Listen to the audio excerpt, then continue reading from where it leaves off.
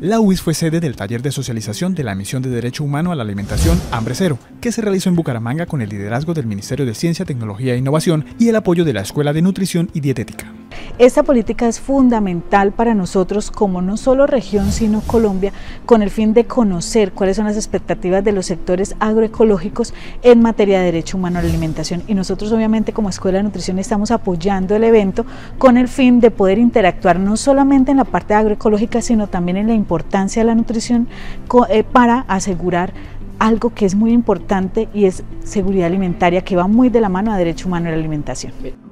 Durante el taller también se tuvo como fin presentar los avances del proceso de codiseño de la hoja de ruta de la misión de Derecho Humano a la Alimentación. A lo largo de la actividad se trabajó en grupos focales para un mayor aprendizaje y una retroalimentación entre los participantes. La Universidad Industrial de Santander a través de su Departamento de Nutrición nos ha venido apoyando en toda la convocatoria, en el planteamiento de este taller,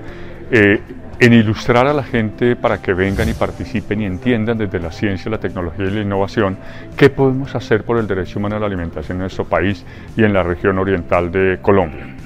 En la actividad participaron cerca de 40 personas del sector agroecológico de Santander, quienes se reunieron con el objetivo de identificar los aspectos que pueden complementar y mejorar la ruta de innovación y de políticas propuestas, así como los sistemas habilitantes. Es de gran importancia todo el tema de, de páramos, de agricultura, de la parte campesina y más vinculado con la ciencia y la tecnología. Es importante entrelazarlas, eh, trabajar eh, articuladamente, llegar allí a los sectores con situaciones reales, revisar todo el tema del turismo, meterle tecnología, información, rutas turísticas. La jornada se desarrolló en el edificio Bienestar Pro del Campus Central UIS.